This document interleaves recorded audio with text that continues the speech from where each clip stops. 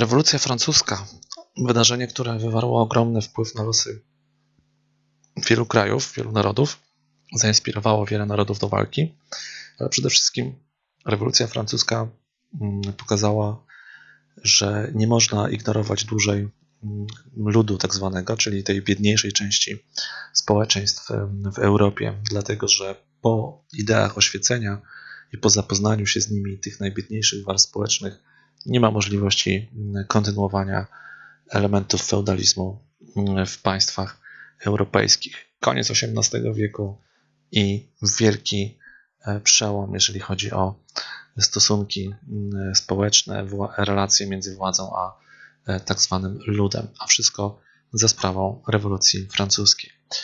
E, dlaczego doszło do tej rewolucji? Pamiętajmy, że Francja XVIII-wieczna to rządy mm, e, przede wszystkim Ludwika XV i Ludwika XVI. Jeszcze na początku tego wieku rządził Ludwik XIV do roku XV, ale jego możemy na chwilę odłożyć na bok. Rządy Ludwika XV i XVI to niestety dla Francuzów mm, koniec dobrej koniunktury. To, co wypracował Ludwik XIV, ten wzrost potęgi państwa, teraz przeżywa mm, Francja właśnie wielki kryzys. Zostaje to wszystko postawione pod znakiem zapytania. Francja przeżywa kryzys dlatego, że przegrywa w wojny, traci pieniądze, e, traci ziemię, między innymi e, niektóre kolonie w Ameryce, w Indiach. E, częściowo traci właśnie swoje kolonie, to uderza w gospodarkę francuską, więc to wszystko sprawia, że sytuacja francuska e, w połowie XVIII wieku staje się nieciekawa. To też zmusza królów francuskich do zaciągania długów poza granicami, e, no i pogłębienia właśnie kryzysu również ekonomicznego. E, na ten kryzys ekonomiczny też wpływa to, że nie udaje się królom opodatkować szlachty oraz duchowieństwa, czyli dwóch takich ważnych grup społecznych, które raczej są bogate, natomiast nie płacą mm, podatków e, na rzecz państwa, nie dzielą się swoim bogactwem z państwem. Dlaczego się nie udaje? No, bo te grupy po prostu bardzo skutecznie się bronią przed, przed takim rozwiązaniem. I to prowadzi Francuzów do mm, zmierzenia się z kryzysem ekonomicznym, który z każdym kolejnym dziesięcioleciem XVIII wieku staje się coraz bardziej widoczny. E, oprócz tego Francja zaangażowała się w wojnę o niepodległość Stanów Zjednoczonych, ale to też kosztowało znowu Francuzów. To to też wiązało się z kolejnymi e, wydatkami, więc e, można powiedzieć, że jeszcze bardziej pogrążyło budżet e, Francji w drugiej połowie XVIII wieku. Jeszcze jeden powód, który wpływał na to, że we Francji żyło się coraz gorzej, to po prostu przyroda. Otóż pechowo też można powiedzieć, stało się tak, że lata 80. XVIII wieku to okres corocznych e, susz e, i mroźnych zim. E, również na początku lat 90. jeszcze to się utrzymywało. Więc te susze i srogie zimy sprawiały, że było po prostu mało jedzenia. Mało jedzenia we Francji. To, co zasiano jesienią, po prostu w zimie zmarzło, a z kolei zboże siane na wiosnę latem nie mogło wyrosnąć z powodu braku dostatecznej ilości wody. Więc mamy tutaj głód, a pamiętajmy, że jak e, ludzie są głodni, to już e, nie mają w zasadzie nic do stracenia i są w stanie ruszyć do walki, nawet jeżeli ta walka wydaje się beznadziejna, bo e, impulsem tutaj do walki, tym imperatywem jest po prostu pusty żołądek. Nasz oraz naszych bliskich, naszych dzieci. Stąd wielka determinacja u tych mieszkańców Francji, którzy cierpią głód, determinację do tego, żeby walczyć o swoje. Jak wygląda społeczeństwo francuskie? Mamy tutaj tak zwane trzy stany społeczne. Trzy stany. E, to jest stan duchowieństwa, stan e, szlachecki i tak zwany stan trzeci. Pierwsze dwa stany są uprzywilejowane, czyli duchowieństwo i szlachta to są stany uprzywilejowane. One stanowią zaledwie kilka procent całego społeczeństwa, natomiast posiadają największy majątek. E, to są stany, jak już wiemy, które nie płacą podatków, e, nie szczególnie pracują, więc no, tutaj ten stan trzeci patrzy na, ten, na te pierwsze dwa stany już od wielu lat takim okiem dosyć e, srogim. Stan trzeci. Co, tak, co takiego jest, co się składa na stan trzeci? Jest to bardzo pojemny stan. 80% stanu trzeciego stanowili chłopi, czyli ludność najbiedniejsza, ludność najmniej wykształcona i najciężej chyba pracująca wtedy. Ale w stanie trzecim, oprócz chłopów, byli też przedstawiciele burżuazji. Burżuazji, czyli takiego bogatego mieszczaństwa. Burżuazja to byli ludzie, którzy często się dorabiali całkiem niezłych pieniędzy, natomiast nie mieli praw politycznych bo nie byli szlachtą po prostu. Czasami mieli nawet więcej pieniędzy niż e, niektórzy szlachcice, ale nie mieli e, takich praw właśnie jak szlachta. Czyli burżuazja, pojęcie ważne do zapamiętania, to po prostu taka elita mieszczaństwa, najbogatsze mieszczaństwo, które ma ambicje polityczne i chce e, przejąć też tutaj właśnie rolę szlachty. W trzecim stanie też były, byli przedstawiciele tak zwanych wolnych zawodów, dziennikarze, lekarze, nauczyciele, prawnicy, którzy mieli ambicje z finansami u nich było różnie, najczęściej kiepsko, więc też podobnie jak burżuazja, no byli zainteresowani jakąś zmianą społeczną. E, byliby zainteresowani właśnie tym, żeby uzyskać więcej praw dla siebie. W trzecim stanie też było drobnomieszczaństwo, czyli tacy przeciętni mieszkańcy miast oraz urzędnicy, czyli ludzie wykształceni, służący państwu. I tak naprawdę najwięcej chciał zmieniać e, stan trzeci, bo każdy przedstawiciel z tego stanu trzeciego, no każdy, każdy przedstawiciel jakiejś grupy miał dużo do uzyskania, a jego sytuacja w jakiś sposób była niekomfortowa albo ciężka nawet. Więc stan trzeci to był ten motor potencjalnych zmian. To, było, to byli ci ludzie, którzy byli najliczniejsi w państwie i mieli największy powód do tego, żeby o coś zawalczyć. E, stan trzeci też ponosił największe ciężary związane z utrzymaniem państwa, bo to oni płacili największe podatki, czyli ci najbardziej ciemiężeni, szczególnie chłopi, E, którzy byli najbiedniejsi, musieli najwięcej płacić na utrzymanie kraju, a podatki coraz to były podnoszone, bo jak widzieliśmy, Francuzi w XVIII wieku potrzebowali pieniędzy coraz bardziej, przeżywając kryzys. Więc e, król po prostu podnosił podatki tym najbiedniejszym i w ten sposób chciał wyjść na zero w bilansie swojego budżetu. Mamy tutaj takie karykatury, które pokazują nam właśnie sytuację e, trzech stanów we Francji. Obie mm, pokazują to samo. Widzimy tutaj przedstawiciela duchowieństwa, przedstawiciela szlachty i e, jeszcze tutaj widzimy e, osobę prawdopodobnie króla. Widzimy, że oni trzymają w rękach baty i e, siedzą na przeraźliwie chudym człowieku, który ma zawiązane oczy i kajdany na kończynach, więc jest to prawdopodobnie symbol tego stanu trzeciego. No tutaj chodzi o to, że ten najchudszy, najbiedniejszy, najsłabszy musi na swoim grzbiecie utrzymywać e, poprzez właśnie między innymi podatki, swoją pracę tych uprzywilejowanych, te stany uprzywilejowane, które nie pracują. E, podobnie widzimy na tej kolorowej e, karykaturze. Widzimy tutaj również, że ten najbiedniejszy musi dźwigać na sobie pozostałych. Jeszcze jeden był powód do tego, żeby rosło niezadowolenie stanu trzeciego. Otóż postać pary królewskiej Ludwik XVI i jego żona austriaczka Maria Antonina, którzy wydawali pieniądze na potęgę. 15% wydatków całego państwa francuskiego to wydatki tej oto pary, czyli wydawali na e, zbytki, na imprezy, na bale, na stroje, na buty, na sprowadzanie różnych ludzi, którzy ich zabawiali, na organizowanie polowań, E, więc e, na, na kosztowności różne, na złoto, na zdoby, biżuterię. Więc 15% e, wydatków państwa pochłaniały ich zachcianki.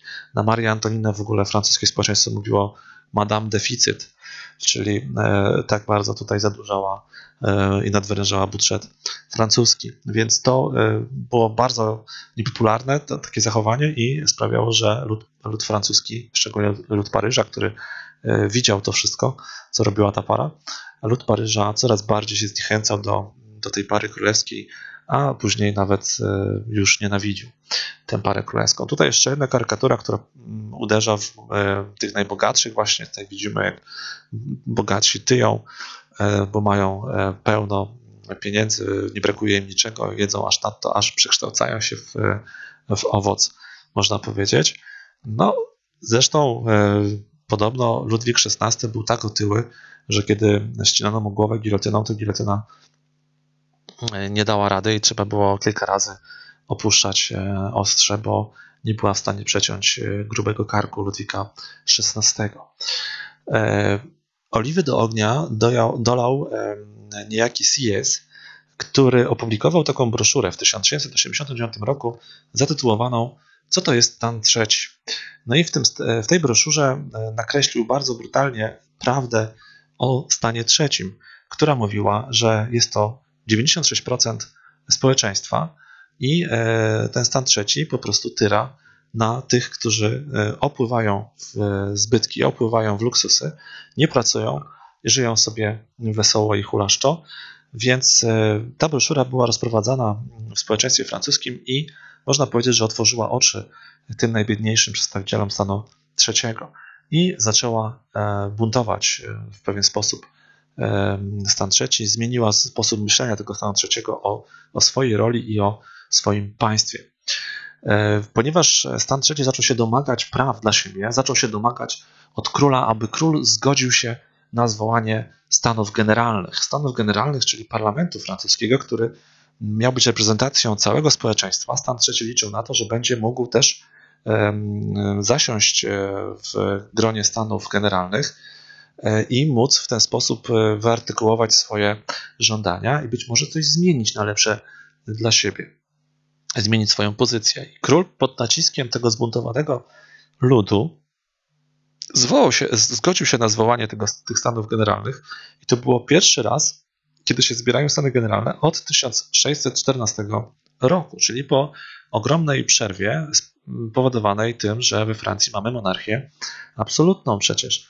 Więc tutaj jest taki, można powiedzieć, krok wstecz króla, który wykonuje taki gest pojednawczy. Ale Stany Generalne, mimo tego, że się rzeczywiście e, zbierają, są areną sporów, dlatego że Stany Generalne to ma być przedstawicielstwo pierwszego, drugiego i trzeciego stanu. No i tutaj e, Stany Generalne mm, miały się zebrać na takiej zasadzie, że każdy stan miał obradować osobno. Stan pierwszy, stan drugi i stan trzeci. No i mieli też głosować osobno, co sprawiałoby, E, dosyć niesprawiedliwą przewagę stanu pierwszego i drugiego, dlatego że jeżeli na przykład stan trzeci by podjął decyzję i przegłosował jakąś decyzję, to ta decyzja byłaby przegłosowana tylko w ich gronie, a więc to by było po prostu jeden, e, jeden punkt, powiedzmy, jedna decyzja. Natomiast stan drugi i stan pierwszy też podejmowali decyzję w swoim gronie i mieli w tym, gdyby zagłosowali przeciwko decyzji stanowi trzeciego, to mieliby dwa punkty czyli byłoby 2 do 1, bo decyzja stanu pierwszego to jest raz, decyzja stanu drugiego to jest 2 i decyzja stanu trzeciego to jest tylko i znowu raz, więc mamy e, możliwość przegłosowania bardzo łatwego, e, współdziałającego stanu pierwszego i drugiego, e, tego, co by chciał zmienić stan trzeci. Więc tutaj się zaczęto kłócić o to, w jaki sposób będą, będą obrady tego tych stanów generalnych wyglądały. No i w związku z tym król widząc, że te stany generalne tak nie za bardzo chcą się dać ujarzmić, zaczął się wycofywać z tej decyzji o zwołaniu stanów generalnych.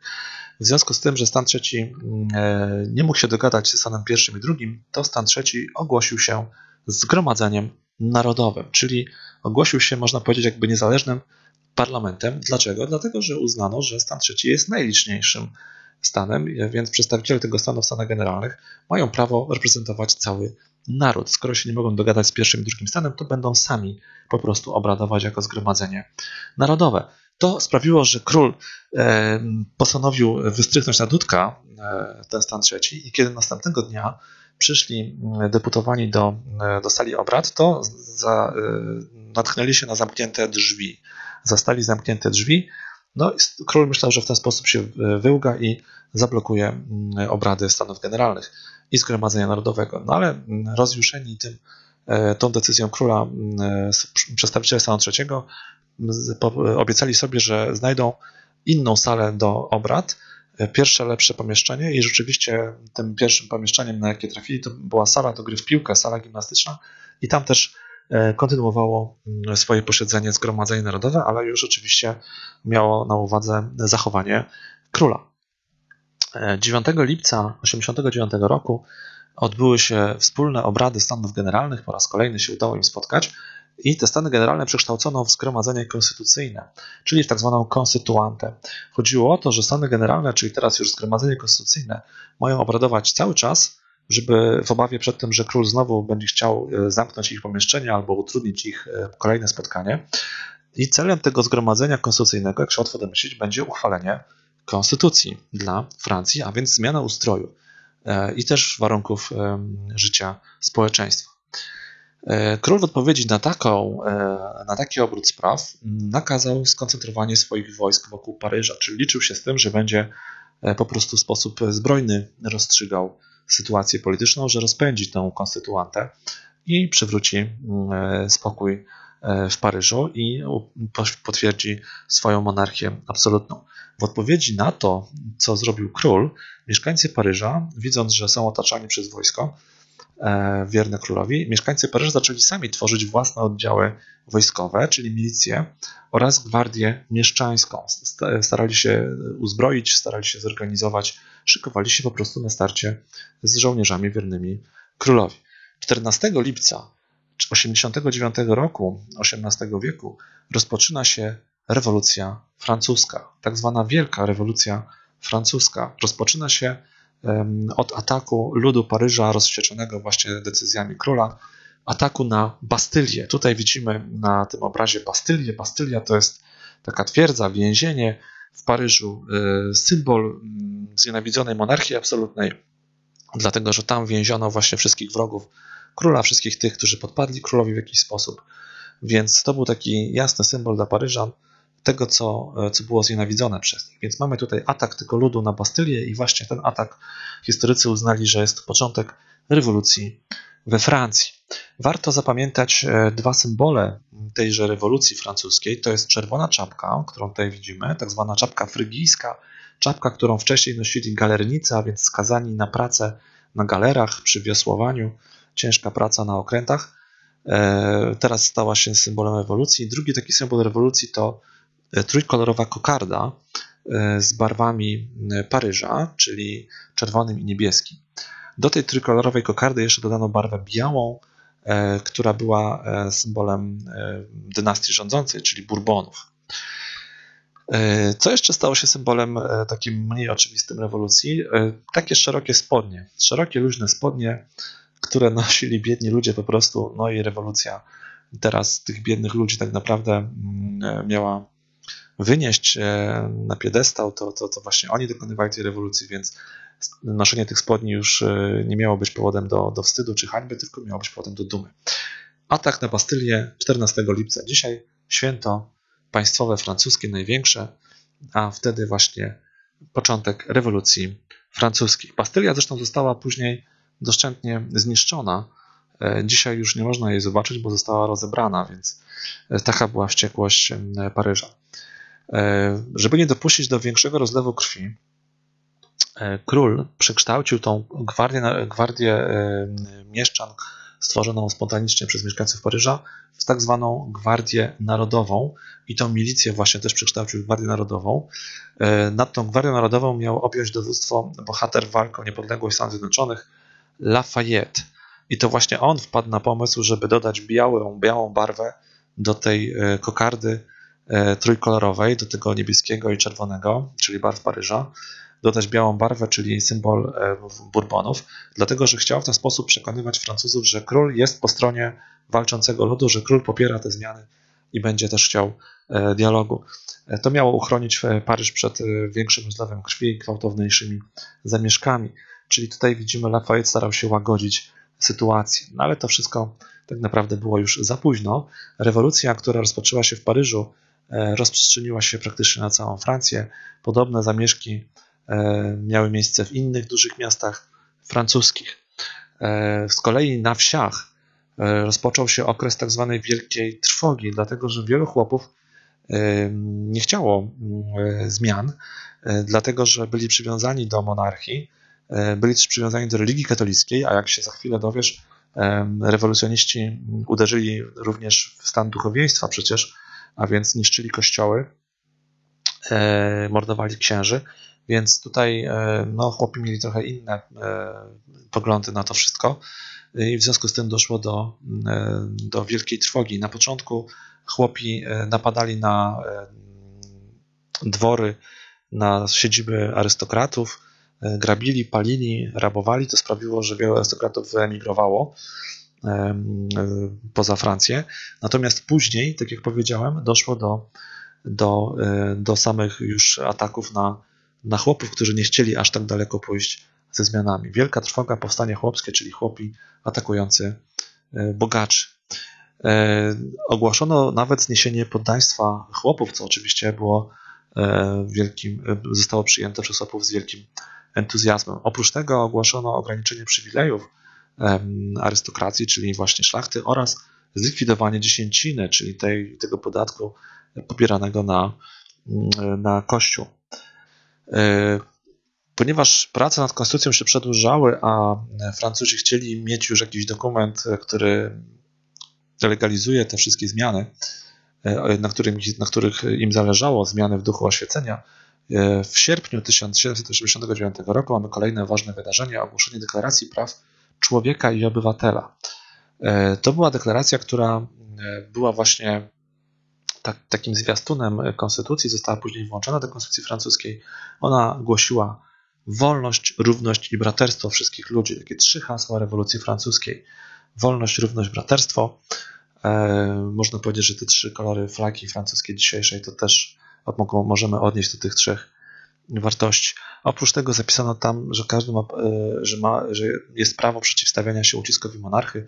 Każdy ma takie prawo we Francji. Ogłoszono skasowanie majątków kościelnych oraz ogłoszono koniec e, powinności feudalnych. Widzimy tutaj czapkę frygijską też na tej ilustracji. E, oprócz tego lud Paryża ruszył na Wersal, na Wersal, gdzie się ciągle ukrywał król z Marią Antoniną, pod paryska siedziba po e, tym ataku na Wersal króla zmuszono, żeby się przeniósł do mm, e, Paryża. E, tutaj widzimy też taką bardzo ozdobną wersję tej deklaracji praw człowieka. Widzimy tutaj też tą czapkę frygijską, zwróć uwagę. Widzimy tutaj symbole Republiki Rzymskiej, bo do takiego ustroju właśnie dążyli Francuzi. No i symbole masońskie możemy tutaj też zauważyć. Dobrze. Jakie ugrupowania powstały polityczne w czasie rewolucji francuskiej w tych pierwszych miesiącach? Mamy bardzo ważne ugrupowania lewicowe, Towarzystwo Przyjaciół Konstytucji, ale bardziej znane pod nazwą Jakobini albo Górale, ale najbardziej chyba Jakobini nazwa jest powszechna od kaplicy świętego Jakuba, gdzie się spotykali. Wśród Jakobinów początkowo współdziałali ze sobą Sieyès, Lafayette, którego tutaj widzimy, Mirabeau, Robespierre.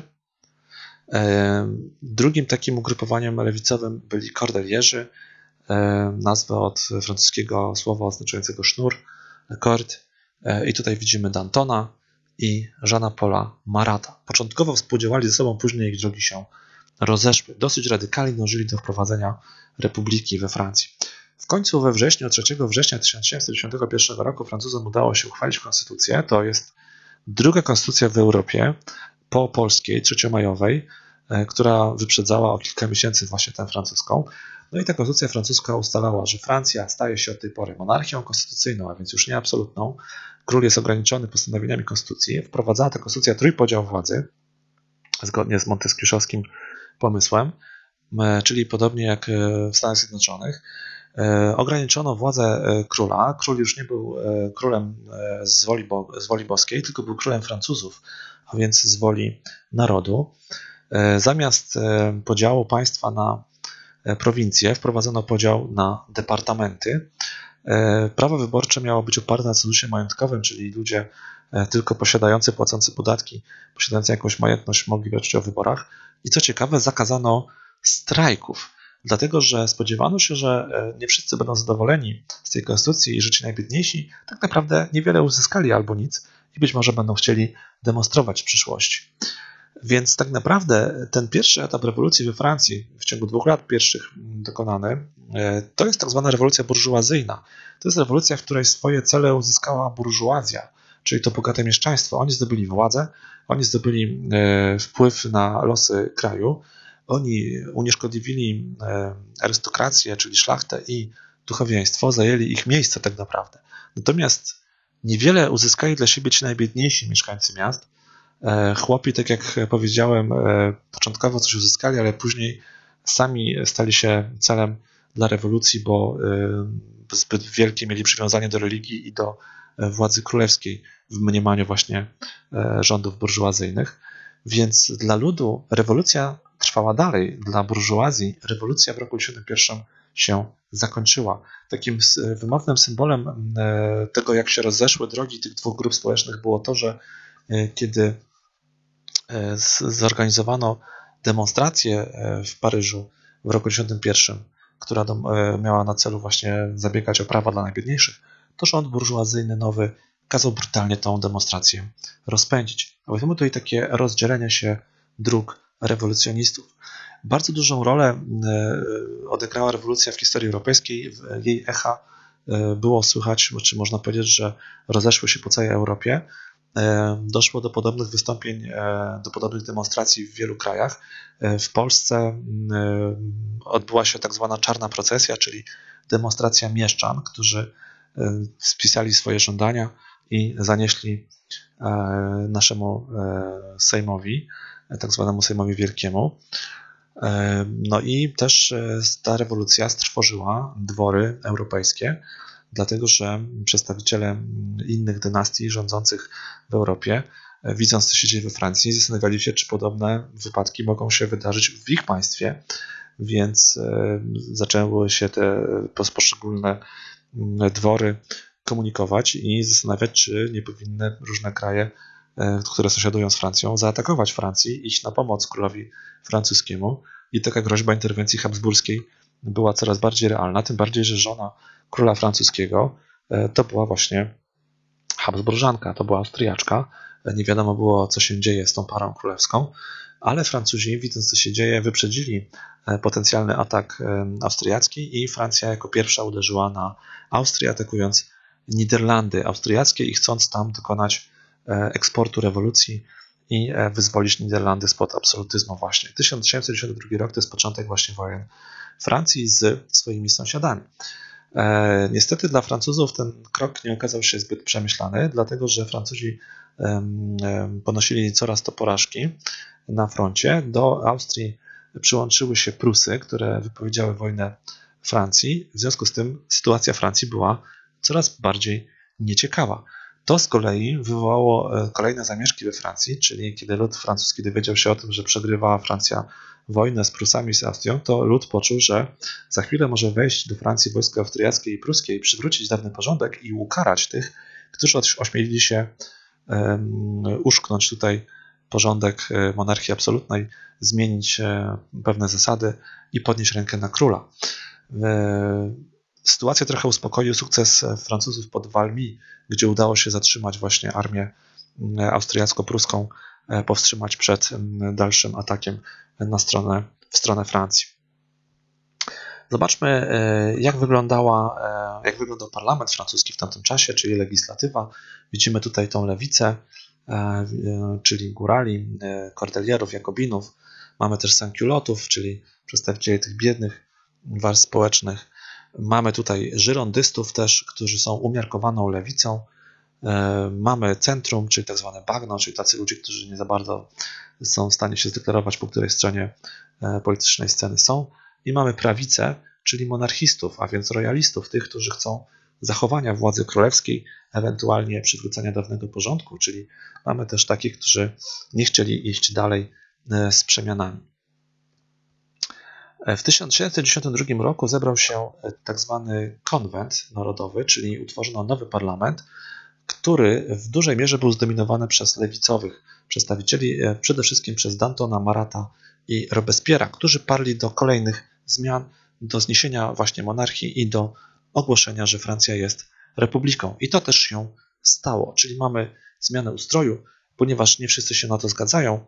E, konwent wprowadza terror mordowani są ludzie e, bardzo często za to, że mają inne poglądy niż e, republikańskie. Zaczynają się wzmożone prześladowania arystokratów. Są oni uśmiercani masowo e, za to, że są arystokratami po prostu, czyli symbolami tej monarchii absolutnej i dawnego porządku. W styczniu roku 1903 nastąpiło ścięcie króla Ludwika XVI oraz jego żony Marii Antoniny, króla, który został oskarżony o zdradę państwa, zresztą kilka razy chciał uciekać z Paryża, co zostało odkryte przez rewolucjonistów. Odebrano mu w ogóle wcześniej jeszcze przed ścięciem cały majestat, nazywając go obywatelem Kapet, dlatego że wywodził się od rodu Kapetów, Kapetyngów, dynastii wcześniej rządzącej jeszcze w średniowieczu we Francji. Czyli stał się najpierw zwykłym obywatelem, a później został ścięty. To było wydarzenie bez precedensu we Francji, no i też stawiało Francję w sytuacji trudnej, bo to oznaczało, że inne państwa, gdzie rządzą królowie, teraz rzucą się do walki, mm, widząc, że uśmierca się mm, e, tych, którzy e, wywodzą się ze stanu tutaj królewskiego. W związku z tym zmontowała się tak zwana wielka koalicja przeciwko Francji. Władcy poszczególnych krajów stwierdzili, że za daleko to wszystko zaszło, nie wolno ludowi podnosić ręki na króla, który ma przecież władzę od Boga, więc do koalicji stanęły takie kraje jak Austria, Prusy, Wielka Brytania, Holandia, Hiszpania, Portugalia oraz niektóre kraje Rzeszy Niemieckiej. E, kiedy ścięto króla, tak jak powiedziałem, chłopi e, uznali, że też to jest za daleko. Chłopi, którzy jednak byli przywiązani do, do e, instytucji królewskiej, uznali, że jest to błąd. Nie podobało też się to, co mówiłem wcześniej, czyli eliminowanie kościoła z ich życia, palenie, niszczenie kościołów, mordowanie księży. W związku z tym wybuchło tak zwane powstanie chłopskie w Wandei, które zostało krwawo stłumione przez rząd rewolucyjny. Czyli tu widzimy, że rewolucjoniści e, sami, na, można powiedzieć, wewnątrz siebie prowadzili walkę bezwzględną, bo przecież stan chłopski był częścią stanu, e, stanu trzeciego. E, to był stan, który początkowo też był nośnikiem rewolucji, a teraz stał się wrogiem dla rewolucjonistów. Tutaj widzimy symbol z tamtego okresu. Tutaj widzimy symbol tych chłopów walczących mm, z rządem rewolucyjnym. Widzimy tutaj Bogu i królowi e, napis, e, więc jest to symbol właśnie chłopów, którzy chcą zachowania monarchii i zachowania katolicyzmu we Francji. Są oni wymordowani podczas tej wielkiej rzezi Vendée.